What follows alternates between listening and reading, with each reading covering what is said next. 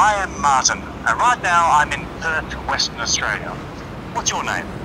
Um, I'm Marina. Nice to meet you. Oh, glad to meet you. What time is it in London right now? Um, it's 20 to 11 a.m. Do you live in London? Um, yes, for the moment, but I'm not from London. Oh, well, in my, in my city here in Perth, Western Australia, it's about two or 30 minutes before sunset. I'm going to be your guide today. We are about to enter an imaginary time. We will imagine that we're at the beginning of time. Let's assume that time and light have always been related. We could say they began simultaneously. Time is measured by the rotation of our planet around its own axis, that's why we have days, and around the sun, and that's why we have seasons.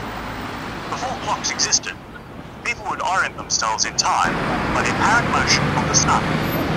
And it's a specially built building to house some bells that we actually pinched off the uh, English about 450 years ago, some bells in some Martin-in-the-Fields. Aha, fair enough. Can you see the sun? Um, I can't really see it, but maybe if I go there. No. Give the sun a bit of a wave, or you can greet it any way that you want. So let's give the sun a bit of a greeting. Okay. Now this is my shadow. Can you see it?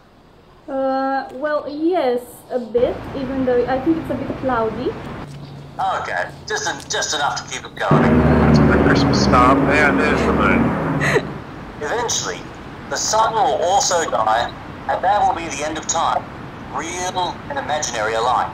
So, in case we don't destroy the planet until then, the sun will be our Death Star. Okay, so we switched over and so. Hi there, nice to see you. Now it's nice to walk with you through the big city.